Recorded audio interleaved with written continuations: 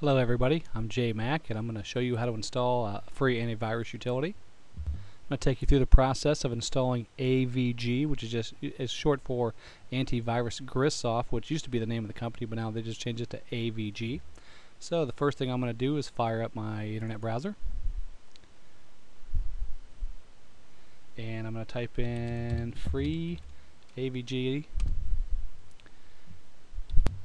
now, a couple things I want to point out when you see the list of your options. The first two down here where it says avg.com, avg.com, these are the actual website where the AVG product is. The third site is cnet.com. I actually use cnet only because I know if I click here, it's going to take me straight to the download. Alright, then you here see a CNET. Uh, there's the free edition right here. I can click on download now. I'll wait, and I should probably see a little bar pop up here. There it goes. Now I'm going to right click on this bar, and now I can download my file.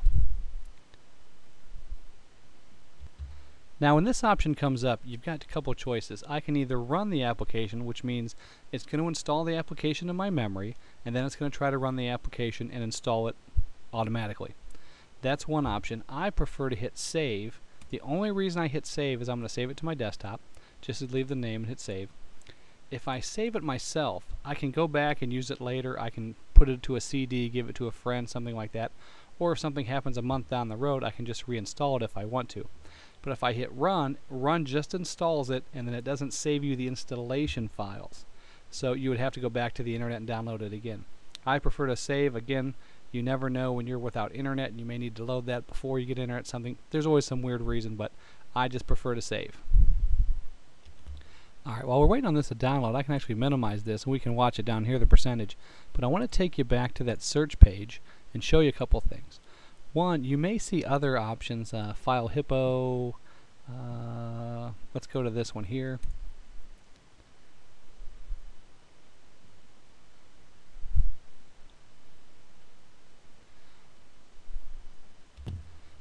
A page like this, this is actually somebody's money making page.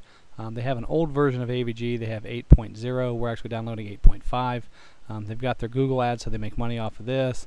Um, they probably just cut and pasted this from the free AVG website, and then you got to go way down here and download. The problem with sites like this is you have no idea what you're downloading. So I always try to stay away from those. I prefer CNET myself. And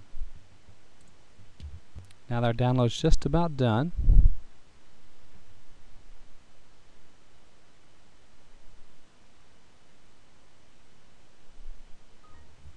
Alright, and now I got a cute little icon on my desktop. Now this is not the antivirus file. These are the installation files. There's a big difference. I had a friend once called me over, said, hey, I got a virus, can you come help me out? I went over to his house, looked. He's like, here, here's where my free antivirus is, and he had just this file. This file is, again, just the installation file. It is not the actual program. This will install the program on your computer and set it up. So first thing we're going to do is double click this, and we're going to run.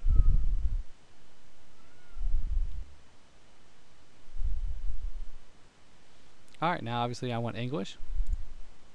Uh, accept. And accept the license agreement. Alright, you've got two choices here, standard or custom. Nine times out of ten you're just going to do the standard installation. The custom is if you want to put it in some other directory or do something different. Um, I'm just going to hit next. It automatically gives you a license number. Um, I do not like this AVG toolbar myself. You can install it if you want to and finish. Now that it has all the options, now it should start installing.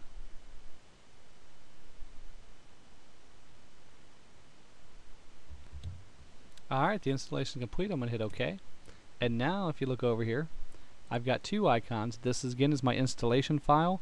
This is the actual program. Now the first time you run this, this wizard pops up and we're going to hit next. Now, because this is the free version, you don't have any options like this. But you can enable a daily scan to scan your PC once a day. I just leave the default on and hit next. Um, do you want to provide information to AVG about threats? Now, again, no personal information is sent to AVG. The reason this is so good, antivirus companies work kind of on a reactional basis. So people get viruses, people report the viruses to AVG and other companies, and then these companies come up with a, a fix and then they download it to all their clients. So I want to hit yes. I want to help the people that are helping me. And now I'm checking for updates. Alright, I've updated. Now I'm finishing up the installation. And finished. Now I don't personally register. And all set. Now at this point you're all loaded. Um, you've got your AVG icon down here telling you it's working. If you wanted to bring it up and test it, you can either double click the icon here on the desktop, or I can go down here and double click. I'm just going to double click the desktop. This will bring it up, and this will show you your antivirus, anti-spyware, email scanner.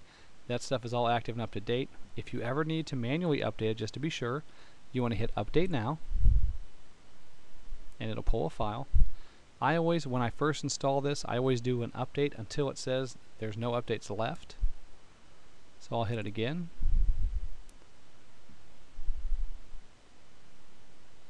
Sometimes there's an update for an update, and that's why updating it um, twice helps. So anyway, no new updates are available. I can close this now, and I'm all set. Um, my protection's active. You can also see what version you have down here. I have 8.5.339 when my last update was, my last scan.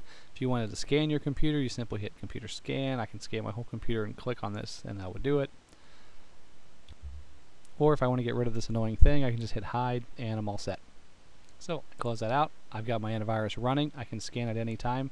Now at this point, if you were fine with this and you didn't want the installation files for any reason, you can just right click, delete, send those to the recycle bin, move that up, and now I have free antivirus on my PC and I'm protected. Folks, if you have any questions, this is Jay Mack, and my website is myvirusremoval.com. Thanks.